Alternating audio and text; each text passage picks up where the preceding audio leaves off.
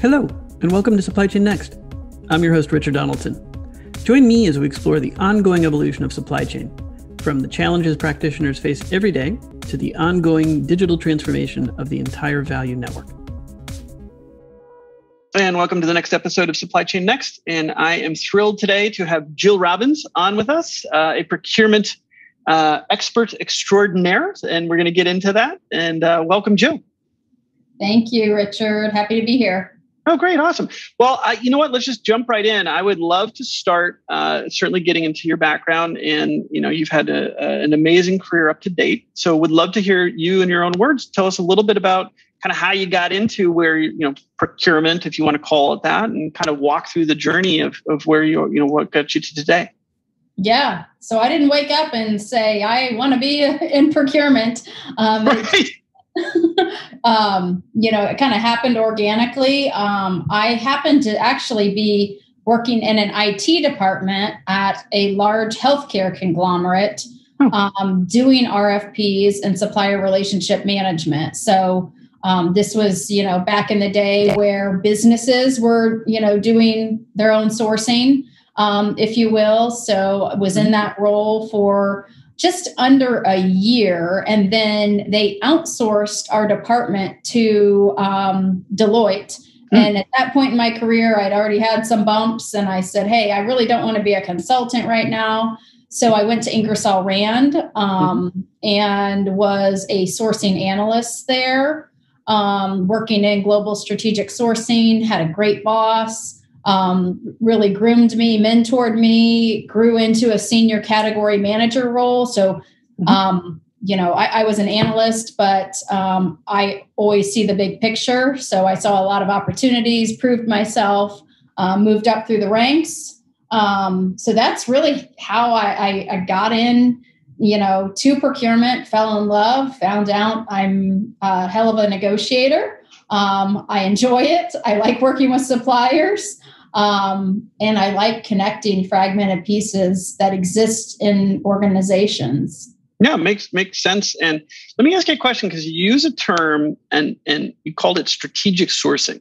Yeah. And if I roll the clock back, that was oh goodness, I mean, it was a little while ago, right? Uh, Ingersoll Rand, yeah. and yet that term is now bubbling back up again today, right? People are kind of thinking, oh, procurement's becoming strategic sourcing. So I'm very curious why you use that term for that position back then and what was strategic about that in the context of then versus say how people are starting to think about procurement evolving to strategic sourcing now? It's funny richard you asked that question. I really what i see right i mean it, it's kind of like the elephant in the room. Um, it some industries you know call procurement global strategic sourcing strategic sourcing um, others still have this view of it being this tactical procurement or mm-hmm. you're my order taker. Mm-hmm. Um, so I feel like it's coming back around because procurement is more than just taking an order um, and negotiating a contract, working with a supplier. Um, yep. No matter how you slice it, um, you know, it, and depending on which industry you're in, you know, I, I find, you know, the healthcare industry, pharmaceuticals really say procurement and more advanced and tighter margin companies um, tend to say strategic sourcing. That is my two cents. That is my observation in my 20 yeah. plus years. Yeah, um, yeah. So, and that makes sense. And, and we're going to come, we're going to come, we're going to come back to that. That's a good, good, good overview. But let's let's keep walking through. So Ingersoll Rand led to a couple other what appears to be fairly big, you know, parts of your sort of career development. And part of the reasons I'm asking this is, yeah. uh, you know, one, you know, you've had a great career, so a lot of people who listen to this are also kind of trying to get an idea of like how do I get into procurement? How do, especially in today's world, right? I mean, supply chain and procurement such a hot topic. People yeah. are very curious as to like how you developed your own career to get to where you are today. So let's walk through a little bit of those two kind of brand name company. Well, Ingersoll Rand's a brand name company, but the next couple sound like some pretty big ones as well too. Yep. So from Ingersoll Rand, I was there for just over three years. Um, did quite a lot of traveling. You know, supported plant sites, business units. Um, they're a large industrial conglomerate. Um, And at that point in my career, um, worked with a lot of guys, love working with men. Um, the management was all guys. And I said, hey, if I want to move up, I better kind of diversify and look elsewhere. Um, so I knew someone who went to Eli Lilly and Company, which was, you know, uh, a large employer um, mm-hmm. in Indiana. And then I, I started in R and D mm-hmm. um. Procurement there. So was sourcing clinical trials, regulatory, really learned the ropes. Um, it was a good place for me to start to understand the business and how it operates in the backbone. Um, quickly moved into IT sourcing. I ran, you know, purchase to pay operations. So it was kind of just a snowball of mm-hmm. various experiences um, at Eli Lilly and Company. Spent some time in Lean Six Sigma. Spent time in business development. Um, procurement reported up through finance. Mm-hmm. So in order for me to continue to progress, um, I was told you need a core finance role um, if you want to, you know, get to upper levels of management. So that's why I mm-hmm. took a role in business development, um, in corporate finance, investment banking. Um, Richard, it's not something I ever saw mm-hmm. myself mm-hmm. doing. Um, financial modeling. Um, I was not an accountant. Right. Um, I, at right. that point in time, I lived in Excel hell. I hated my life, but what it taught me was um, how all the pieces fit together. You know, looking at target assets. You know, looking at mergers and acquisitions. Um, and that's where I got my entrepreneurial bug. And my mm. husband and I became entrepreneurs mm. during that time because I understood okay, how, here's how you value businesses. Um, right. So that's when we opened a few Sky Zone indoor trampoline parks. I stayed in the corporate world. Um, my husband's an attorney. He ran those businesses. Um, from there, I went into Lean Six Sigma, did some supplier master data transformation. Um, I had my son, mm-hmm. uh, and then I went to Elanco Animal Health.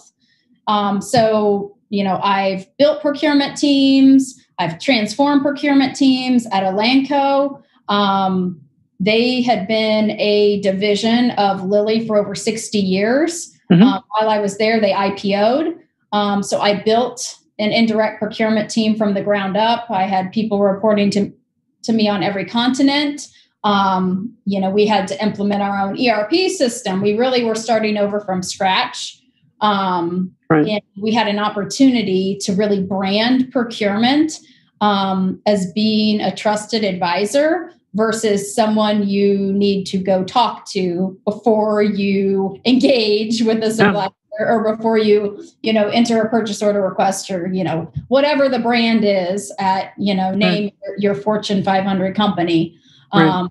Everyone's got a brand and so it, it was a lot of fun um, and we made a ton of progress we were able to consolidate the supply base um, you know, do a lot of great things and just kind of lift up some rocks that mm-hmm. haven't been lifted um, yeah. in many years just because, you know, there were other priorities. Totally understand. And well, so, so great, great overview. And the thing that jumps out at me right away is, and I think a lot of people would like to hear about is you kind of span already in your career, you know, major companies, but across multiple industries, right? Ingersoll Rand, probably a little bit more heavy machinery, Eli Lilly Pharmaceuticals, and you get into a personal, even trampoline style business, right? Um, which sounds, but it's still, there's a lot that goes into that. Yep. And then kind of your next adventure, you know, kind of maybe sorted back, touching into pharmaceutical, but you span multiple industries. So what's the consistency that you've seen through that as you reflect on that? What have you, what have you seen? Because procurement is a function kind of like finance. You know, a lot of people think, oh, I do procurement for healthcare, I do procurement for technology. They're different, but I don't think they are. And I think you've probably lived that. So I'd love to hear your response to that. You know, what do you think? Yeah. How do you talk to people about that? Yeah, they're not. Yeah. And, you know, I coach and mentor a lot of um, individuals. Um, I, have had, you know, I'd say a different lens than maybe the traditional mm-hmm. kind of procurement professional has. Um, I I think and act like an owner, and I what I coach and what I say often is there is no better seat in the house than sitting in a procurement or supply chain role. Um, you have mm-hmm. eyes across the business, and especially on the indirect side, that mm-hmm. really even finance doesn't have because you right. see how how the business is thinking, what the business is thinking. You can talk to customers. Um, in many cases, when you're supporting sales and marketing, you can hear their perspective. Um, so, you know, I would say don't conform to a department that you sit in. Think across the mm-hmm. value chain, chain, take the blinders off. Um, because many suppliers are used in a number of different departments in a number of different ways um, across multiple categories. Um, and the sooner you realize that, the better off you are. And what I've learned as well, some of your largest suppliers are can be some of your largest customers. Yep. Um, so that data um, and having that availability and looking at those contracts and leveraging on the buy side and the sell side is hypercritical. Mm-hmm. Um, and I can tell you, I got a lot of pushback um, hmm. in highlighting um, some of the opportunities. Well, we want to do it this way. Um, we've never done it that way, right? Um, we're comfortable, you know, with this. And it's like, okay, well, are you comfortable giving away margin? Right. Um, you know, do you want to run the business more efficiently? Um, so really- seems like it seems like obvious questions that you're asking that you think would be almost rhetorical, but I think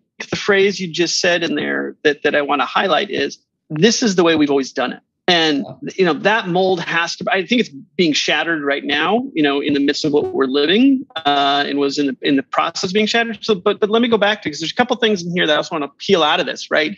So there's your own kind of you know natural inclination as an entrepreneur someone who's self-driven and motivated to learn and expand and see the whole business. But coupled with that you took a finance role that really gave you that foundation you know knowledge base mm-hmm. lexicon with which to communicate with people, you know, and give you kind of a holistic view of the business. So it's it's you kind of did both simultaneously. Where I'm going with this is, you know, what what do you think has made you kind of do that? Because that is kind of the role that procurement strategic sourcing people should be thinking about today. It's not an order taking function. It's actually one of the most strategic positions in the business that allows you, as you put it, a view of the whole business that's fairly unique. Like what what got you to see that before what I think a lot of other people have actually seen? They're starting to today, but you were kind of ahead of the game. Yeah, you know, I'd say Richard, I I'm very curious by nature and um you know, the role I had in um being a lean six sigma black belt dissecting um, supplier data so when i was at eli lilly and company you know working with um, close to 10,000 suppliers, and they had a very um, linear data mm-hmm. set versus parent child relationships. Mm-hmm. Um, so suppliers were managing um, the company versus procurement managing or the business managing those suppliers. So suppliers knew more about what was going on than mm-hmm. procurement did, or mm-hmm um, relationship managers. That's a huge problem. Okay. Right. So you really, when you're spending um, billions of dollars, you, you, really need to understand where that's going, um, how it's being optimized, what that contract compliance looks like. And as I start dissecting that, that became part of my DNA. So every role I had after that, I would mm-hmm. dissect, you know, the category, the supplier look mm-hmm. across mm-hmm. the entire value chain and you know look at you know are we using the supplier here? Why are we using you know them here in this capacity? Um, how accurate is that data? Um, and that's another thing you you trust but verify. Um, and i think that's a problem that exists today. And some of the supply chain breakdowns we've seen in the last two years are because data is garbage um, right. in a lot of these very large companies. Um, so you really need to govern um, proactively on the front end and have that continuous cleansing going on so you can trust where things are at. You know what your payment terms are. Sure. You know what your SLAs are, what your delivery terms are. Um, and companies have learned the hard way um, yeah. in many yeah. cases. Well, let me let me double click into that too, because again, I, there's just such nuggets of gold in here. But uh, you, you're, you're touching around kind of, I think, the core issue or pro- one of the core problems within current supply chains procurement teams today, which is this kind of lack of data. Right, you, you have, were inclined to go find it and connect dots between different data sources. Yeah. Right, but yeah. the question really is, what did you see? What did you see as the big inhibitor or barrier as to why that data wasn't all together? And then as an outcome of once the data was put together, and you kind of touched on these as well, like what were the benefits that you saw? And you kind of highlighted some of those, but I mean, the business goes into like optimization overdrive when they start putting all this data together and making yeah. sure it's available, right? So yeah. start with start with kind of the you know what what what was the major stumbling blocks you saw in your experience you know the commonalities between different companies? Because i think there's pretty common themes as to why this isn't done more normally. Yeah so you know finance looks at reconciling the books and they look at from a gl perspective. Um, the business is looking at it from a budget perspective. Am i operating within my budget? Um, and again they have high level kind of gl targets um, that they're operating. I have money here that I can spend, I have money there. And then you've got supply chain, strategic sourcing, procurement, whatever you want to call it, um, operating from an external mindset in a category. So, how is this spend categorized in the marketplace? Um, so, you've got these different groups that usually are just, you know, they're they're passing in the, in the night. Um, and they're not right. looking at how they can cohesively pull all of this together. Um, so that's the number one problem. The number two problem is mm-hmm. is the data right? So is the rec entered right? Is the GL correct? Is the category, whatever you want to call it, correct? Right.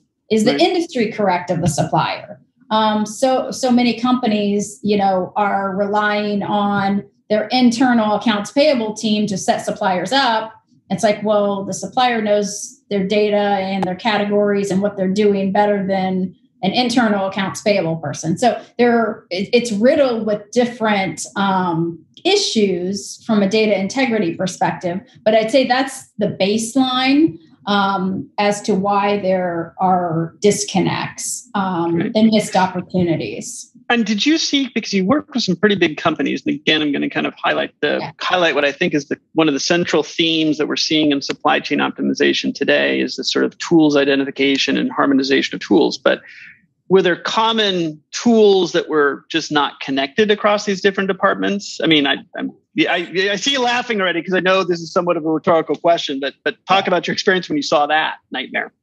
uh, there's no golden ticket, Richard. I mean, everyone thinks, okay, if I sink, you know, X tens of millions of dollars into name your ERP system, you know, Oracle, SAP, whatever, they are going to fix all my problems. They have an MDM module, they have this wrong. You know, your processes, your, you know, governance, your discipline has to support that. Um, systems don't fix um, bad behavior or uh, decades of you know broken internal processes it just does not happen um, right. that's what those guys sell Mm-hmm. Um, and then people realize the hard way, well, then I've got to hire, you know, name your marquee consulting firm to come in and then implement or come in and reconfigure because this is not telling me what I thought it was going to tell me or what, you know, the bill of goods I was sold on this. Sure. Um, so it, it's,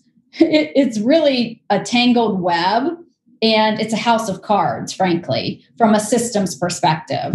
Um, and you have to be very, very um, intentional from an architecture perspective about defining what metadata needs to connect. How does that metadata need to be governed? What are the outcomes I'm looking for? So, really starting with the end in mind is, I, I can't emphasize it enough. And so often these large, you know, projects and transformational projects, they think, okay, well, if I just implement this, I'll get this. Mm-hmm. Well, is this really going to, you know, give you that proactive view. Everything is always, you know, backwards looking. And even the mm-hmm. backwards looking, some like I said, you can't trust um, it more than I don't even want to say a percentage, but um, there are huge errors um, in even what you're looking at. Yeah, absolutely. So so now let's kind of bring that forward a little bit. So you kind of going through this progression, attain some pretty senior level status, and then now you've morphed into like, okay, I've got my experience. Now you're going to start consulting back to these companies. So take take us through into sort of how, because this is sort of the leading into what we've developed here as the foundation. How are you approaching your consulting with the firms now, given these experiences? Like, what are you looking at? What's the common theme you approach procurement or supply chain teams now, given kind of what you've experienced yourself? Yep. So I, I do kind of two angles of consulting. So I am helping um, pharma biotech companies um, from a procurement perspective. Either they've you know raised a lot of capital, um, they recently went public, but they don't have a formal procurement team. Um, and I help them build the right policies, build the right framework, the technology we talked about. You know, getting all of those pieces mm-hmm. um, lined up. You know, through Matchbook is the company, and we help execute RFPs um, you know, from a clinical R&D perspective with HR. So, you know, we are an outsourced procurement department with you know, decades of experience. So we bring a wealth of knowledge and we can just jump in and hit the ground running. Mm-hmm. Um, the other angle of my consulting business, so with Business Fierce, I teach companies who are selling to and through um, enterprise, supply chain, and procurement organizations how to do so effectively. Speak their language, doing your homework, mm-hmm. understanding what the, the priorities are, not just cold selling, not just selling what you sold to the last um, customer. So, really thinking through what it means, giving them a playbook mm-hmm. and making them procurement insiders um, is what I do. Teaching them how to negotiate. This is how procurement is negotiating with you. Are you preparing in the same manner? Mm-hmm. Um, or are you giving away too much margin? Mm-hmm. Um, also, helping them fine tune their responses when they get, you know, a litany of RFPs um, how to prioritize. Should I be responding to all of these RFPs? How should I be responding? How do I stand out from my competition? So that's what I'm doing. Um, you know, with Business Fierce. I'm also I'm speaking at a lot of sales kickoff meetings. I I run breakout sessions um, based on industry verticals, coaching them on you know what's important to these different mm-hmm. industries. What are the buzzwords? Um, you know how to cultivate that relationship um, so procurement is not hated because I so many of my customers avoided procurement for years and decades, and their chief revenue officer, their you know sales director, they tell me to avoid procurement. Right. Um, that's the number one mistake because yeah, right. you may win one or two deals, but if you want to be a preferred supplier, if you want to be given every opportunity in this space to competitively bid on, then you need to make friends with procurement um, quickly um, mm-hmm. and become their, their trusted advisor. And mm-hmm. you're not going to win every deal, um, but when you're their trusted advisor, you can say, "Hey, we're not best here, but you need to go talk to my buddy over here." Um, so, so that's kind of the, the two angles. Um, and then we we also have a warehousing business um, and a cryotherapy business. So we we're kind of serial entrepreneurs. Yeah, I was going to say it's quite the gammon here. I was making yeah. ma- making light of the fact that we might get into wheatgrass and aliens, but uh, you bring up yeah, cryothe- cryotherapy all of a sudden and uh, high tech. So that's awesome. Well, let me okay. So let me let me dive into a little bit of of now. You you kind of referenced this earlier, but procurement is and often has been thought of it as a standalone mm-hmm. right? But it's really a part of a bigger organization, which is supply chain.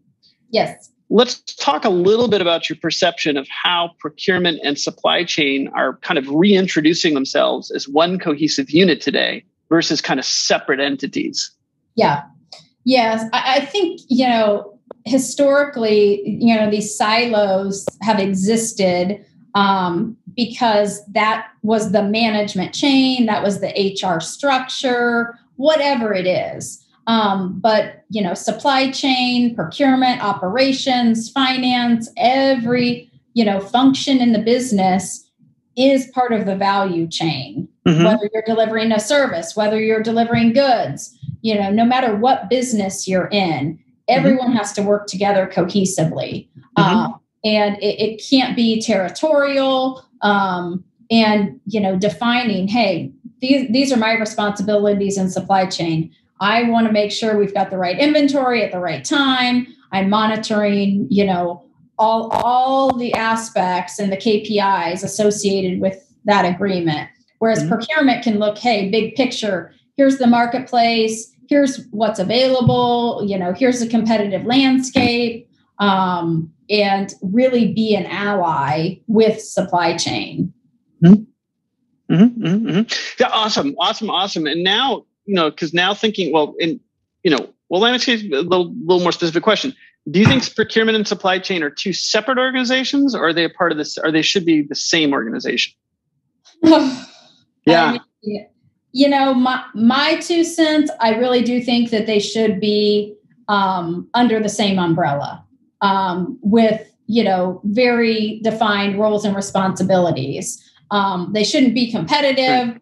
Um, you know, you can even bring in, um, you know, warehouse on operations, you know, real estate oftentimes is separate. I feel like all of that should be under the same umbrella. Yep. Um, I've seen, you know, different organizations do right. it differently, you know, um, but there is having an independent voice and independent lens on a spend category, on an opportunity is invaluable right. um, to every business. And, right. you know, the sooner that procurement supply chain become your ally, the better off and the more profitable, the, the more efficient, um, and the more sales and revenue um, organizations right. will achieve. Yeah, no, absolutely. Let me let me tack a little bit outside of procurement for a second and let's look at the world of sort of sustainability and circularity. That's a hot topic. Everyone in supply chain is talking about it. It's also something directly affecting procurement within supply chain, right? Um, there's a lot of new considerations around where people are procuring from.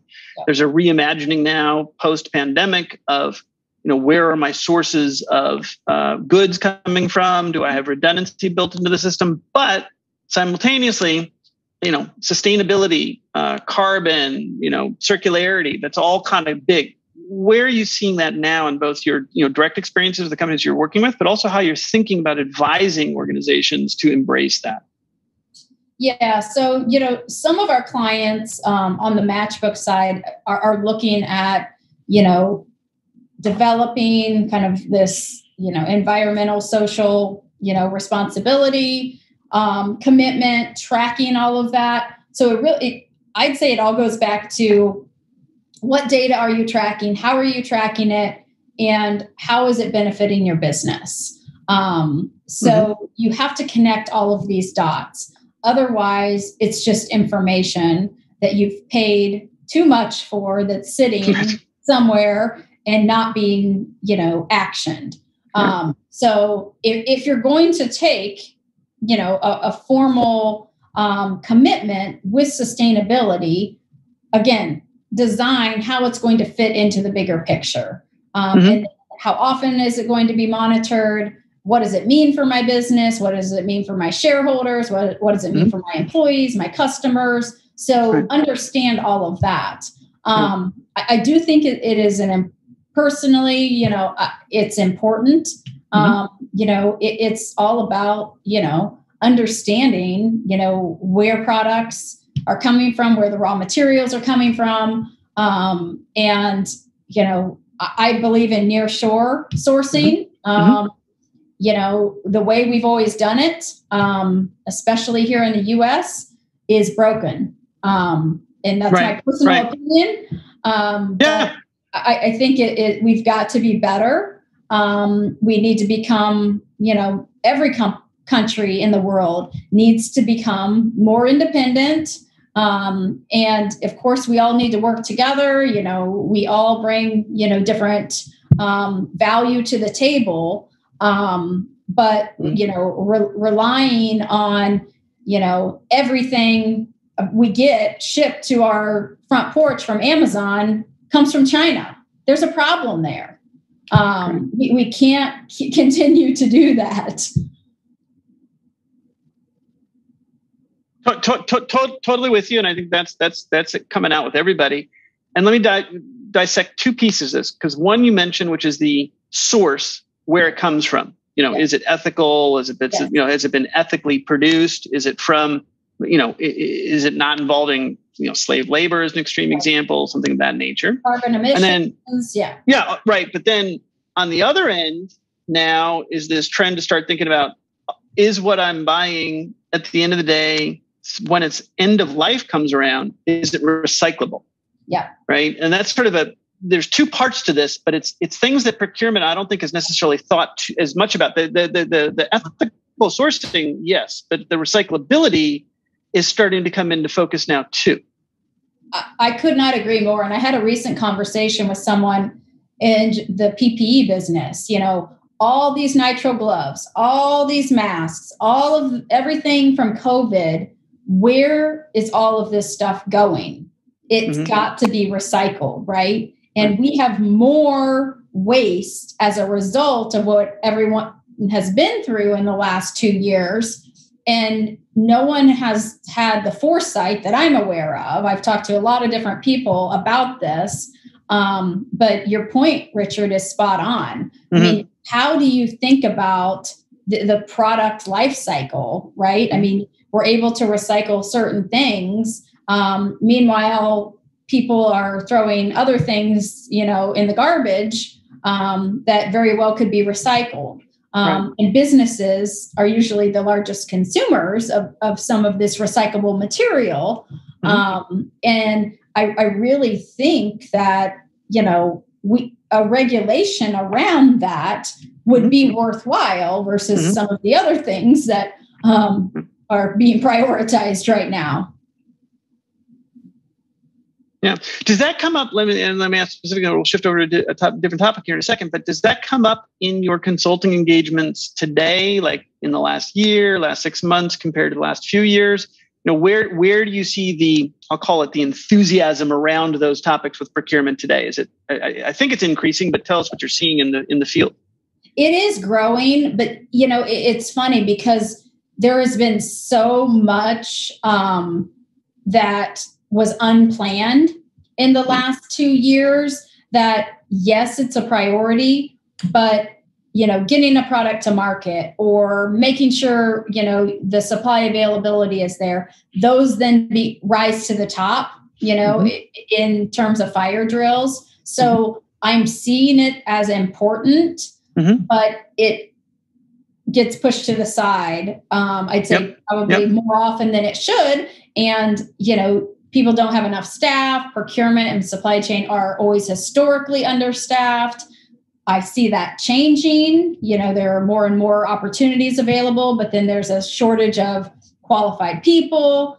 Um, but you know, you make a very valid point. You know, it's where does it fall, mm-hmm, mm-hmm. and mm-hmm. the le- leadership has to make it a priority, and it can't just be a check the box. You have to have, you know, right. this full bill of materials. So, you know, you've got the bill of materials from the time that the product ships out the door, but what about everything that went into that product? And then what is, like you said, what does that end of life look like um, right. for everything that it took to produce that product? Correct, correct. And then also recycle it. So, okay, awesome, awesome, awesome. Let me, yep. let me build on that and shift just a little bit, but something that's also a theme that you are very clearly uh, uh, knee deep in is data.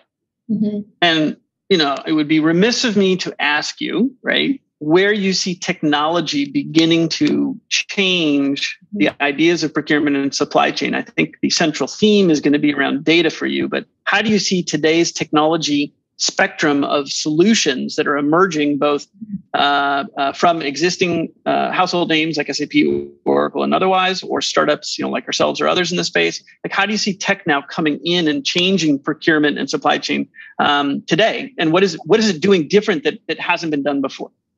Yeah. So you know, my belief is that it is the innovators that mm-hmm. are going to thrive. Um, from this point forward. Um, it's not going to be the legacy systems um, because they're not agile enough. And I've worked with the legacy systems for over two decades. Um, mm-hmm. And, you know, y- you don't turn those ships quickly. Right. So, with right. that being said, um, you know, I see technology as driving that visibility and that predictive analytics, that proactive um, insights um, across the entire value chain. It's mm-hmm. not just procurement. It's not just supply chain, as I've said, you know, a number of times already. Um, breaking down those silos um, and having actionable data. Um, so if you see, right. hey, my margin's slipping on this SKU line or this product line or in this market, um, what do, what can I do versus at quarter stop oh shit, I, I didn't meet my targets. Um, so you right. need to have those predictive analytics and um, insights in place. So those check-ins, it can't just be an after the fact, you know, um, moment, and then you know you're, you're trying to put band-aids on everything. It, it just it doesn't work that way. So that's where I see the future of technology. It's a cohesive environment um, so it's very cloud based. Um, it's best of breed. Um, there's not, I don't, I've not seen a one size fits all um, oh, right. for, for, anything, even though that's what's sold um, in many cases. Um, but mm-hmm. you know, when you talk about supplier discovery, supplier qualification, you know, managing the contract, running competitive processes, managing the contract, spend on contract, you know, issuing the purchase orders, receiving the payments, all the reconciliation. Um, mm-hmm. I, I see all of those as, you know, a cohesive group of systems that talk to one another and then are able to provide all of those um, predictive mm-hmm. data mm-hmm. elements um, mm-hmm. into you know operations into supply chain into procurement Mm-hmm. Um, into sales um, mm-hmm. because you know oftentimes you know sales and marketing kind of operate out here um, and then r&d operates you know back here and then you've got manufacturing but all of these you know pieces need to be tied together. Yeah totally. So so let me and, and let me dive a little bit deeper in that one. So is there a common data theme that you see that it, you know kind of portends success for these types of things right? Is there because you talk a lot of different data you talk a lot about data sharing and you know you've mentioned centralization which really at the end of the day is a we'll call it a cloud based platform is probably the way to go. And we've seen the benefits of that in all the different areas whether it's google or amazon or whatever you want to pick and choose. So that's almost like a foregone conclusion. Mm-hmm. but if companies now and enterprises are moving to platforms supply chain platforms of the future what are the core data elements that you think needs to be kind of the foundation of those structures yep so when focusing on you know supply chain procurement it's you know who's available qualified suppliers that are available um, what categories they play mm-hmm. in um, then you get down to the you know competitive process and then you get into the transactional data, the contract data, everything that's reportable, um, invoice data, and then spend on contract. So, you know, I, I would break it, you've got the strategic data that, you know, from a supplier perspective and how they're performing. Then you've got the transactional um, data. So everything needs to fit together because it all tells, you know, a holistic story. Totally, totally. A great answer. I mean, it's a great, you know, there's no right, right or wrong answer in this one. I mean, it's just all kind of coming together on the fly as we see it happening right now.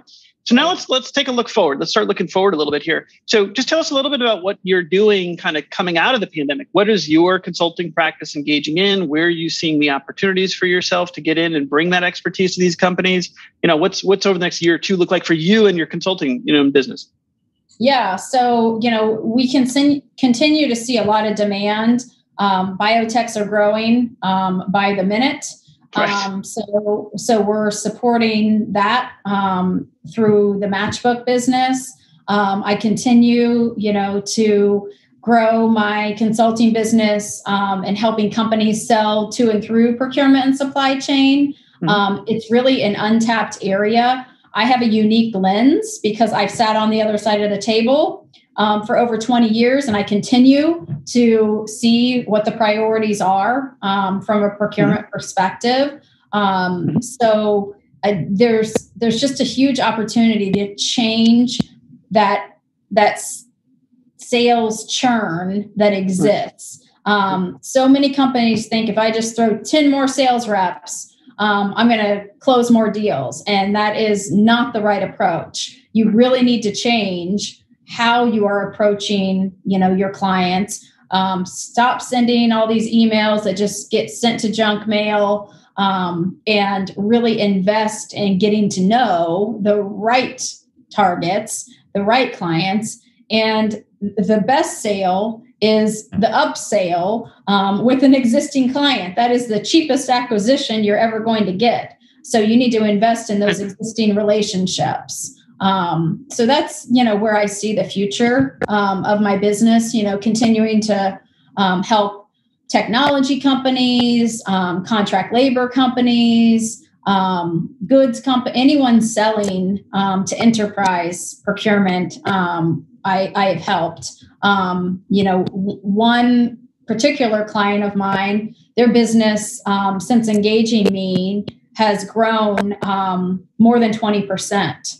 Wow. Um, and they they were you know over a half billion dollar business to begin with, and wow. it has just continued um, right. to, to grow. And they've brought me in, you know, to to help with you know different relationships that have been on the rocks and where they didn't have a relationship with procurement so coaching them through that um, mm-hmm. and being proactive and, and, really tracking the right data so being that supplier of choice um, rather than getting spanked, they're invited to proactively, you know, and have a seat at the table and totally. are able to share, hey, here's why we're different. You know, here's totally. our value proposition. And totally. that's the position every supplier should want to be in. Yeah. Yeah. No, I did great, great, great answer. Now let me let me ask you as you kind of look forward not only your business, but what do you see trend wise? What are the things that procurement, supply chain, you know, coming out of this kind of pandemic, what do you see happening over the next couple of years? Like, what's going to change dramatically, if anything?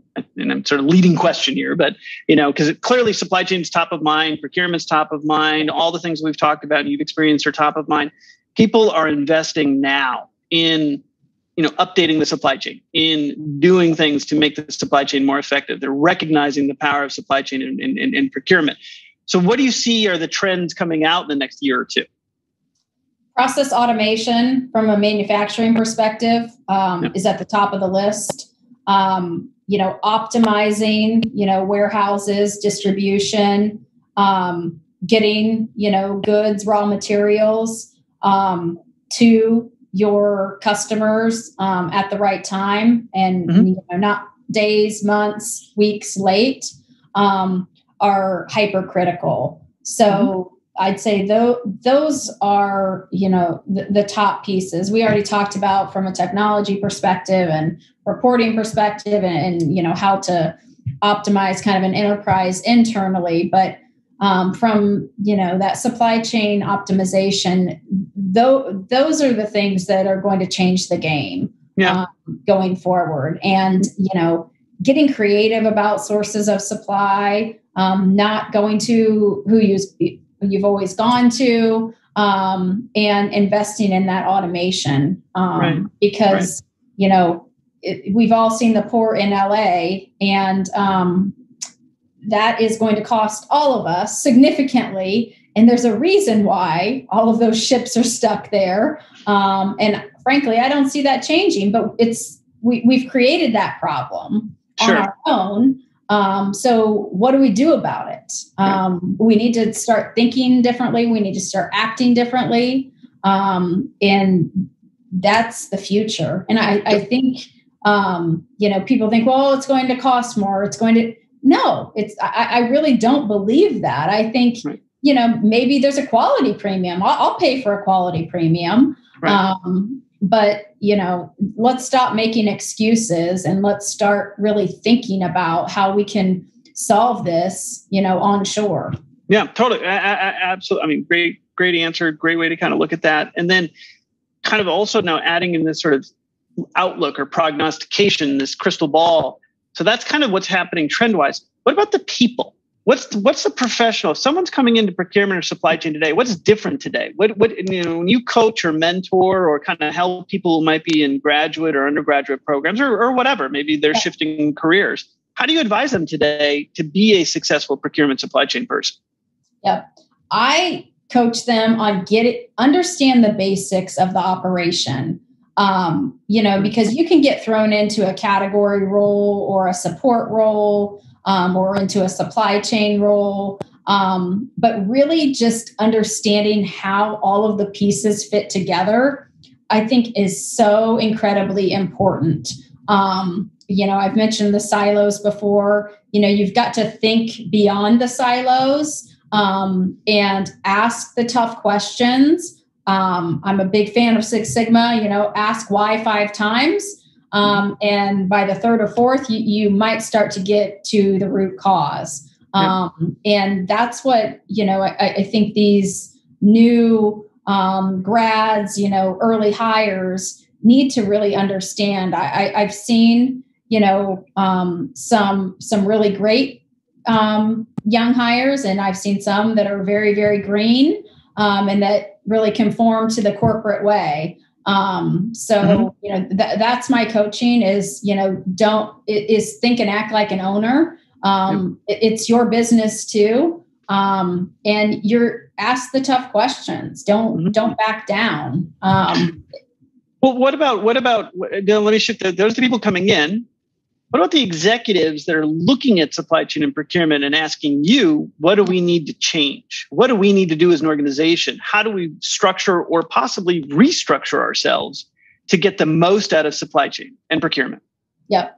So, yeah, I think we've hit on a lot of that, um, Richard. But my advice is, you know, you, you've got to get all of those fragmented pieces of data connected. Um, you need to get groups talking to one another. Um, there cannot be sacred cows. Um, there cannot be, we've always done it this way, um, or it's working fine. You know, I, am a believer, you know, there's always a better way to do something, right? There's always a more, a more efficient process or a more, um, you know, a, efficient technology that you can bring in. Mm-hmm. Um, but, you know, be curious about it. Um, and ask the tough questions. You know, what are your inter, you know, if the priority is to maximize margins mm-hmm. and minimize OPEX mm-hmm. and um, drive revenue, um, which should be every business's priority, right? If if you're in business, um, and then you know make employees part of the process and stop hiring these marquee consulting firms that all they do is come in and ask the same damn questions over and over again and regurgitate what your employees already know. Right. You know, talk to your employees. They have right. the best ideas. They they see this day in and day out, um, and they can solve the most complex and difficult problems that exist within your organizations. Talk to them. Listen to them um, because they care. They're employees, right. and you know you don't have to pay them tens of millions of dollars um, to get the best ideas and solutions in place. So totally. that's totally. sorry, that's my rant. But no, no, no, it's fabulous. I mean, that's exactly that's. It. I mean, it's a great place to also kind of you know wind up a little bit because we've talked a little bit about your you know future view of the, the, the industry, future view of kind of roles and people coming into it, and also you know just sort of highlighting or nailing the point home that you know change is now happening supply chain and procurement teams you know it's no longer you know a conversation and, and i'm you know i was just at the cscmp uh, conference in atlanta a week or two ago And yet again, they kind of showed all the standard, you know, like people want to change and embrace technology. And it's like, okay, well, we're past that. Like, what do we do now? What's the roadmap? Let's start talking about what people are doing. Let's get into the tactics of what's actually going to make these changes happen. We know everyone needs to change. We've been talking about that for a few years, right? Um, so let's seize on that opportunity and actually start laying out because there's such commonalities in procurement and supply chain across all these industries. Let's find these commonalities. Let's highlight these to people. Here's like like like people are struggling to figure out like what do I do to start this change management uh, thing. Um, well, here you go. Here's some ideas on how to do it. it. Sounds like I mean you're doing it in the field directly through your consulting practice, but I'm saying there's an, even a broader like just I don't know, content, messaging, information, whatever that can be put out there. And that's kind of the point of these discussions to get these this out there so people can see that, hey, you're not alone. There's some common ideas that are happening, no matter the industry, you know, in the role of supply chain and, and procurement. Um, and and you know, you, you should be learning from each other. Like you said, you should be talking, collaborating, right? Opening up and sharing. I mean, that's how that's why open source software beat closed source software right? Uh, is the whole concept of oh, you know collaboration and and open standards, blah blah blah. Anyways, that's my rant. you get me going. Yeah, yeah, I can go. Oh, I, yeah. And you know, sometimes Richard, we overcomplicate things. Oh. Executives overcomplicate things. Amen. get, get, back to the basics, frankly, right. Um, right. of what it takes, why you're in business, what's important. You know, something I learned a long time ago I don't even know who the consultant was, but it it has stuck with me for over 20 years.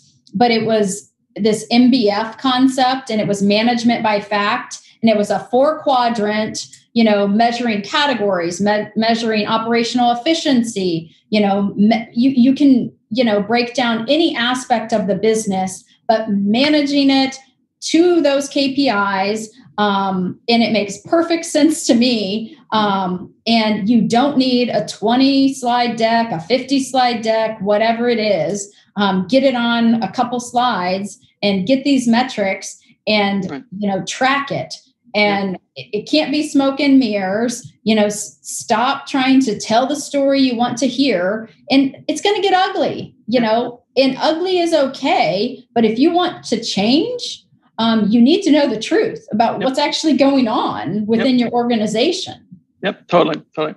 Well, listen, that's a that's a great thing to kind of wind up on. I really appreciate your time today. It was an incredible conversation. Like like all of this, and you know, an hour goes by in a blink of an eye. So uh, uh, so much to talk about. So much. Thank you for your insights for that. But really, thank you so much for today. Yeah, thanks, Richard. Been a pleasure. Awesome. Thanks. Yeah. This is Richard Donaldson. Thanks for listening. If you have any comments about the episode or topics in supply chain you'd like us to explore, we'd love to hear from you. You can reach us at supplychainnext at requis.com. And while you're at it, why not check out the Requis platform at supplychain.requis.com.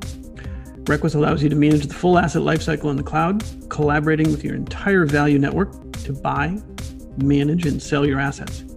Find out more at www.requis.com.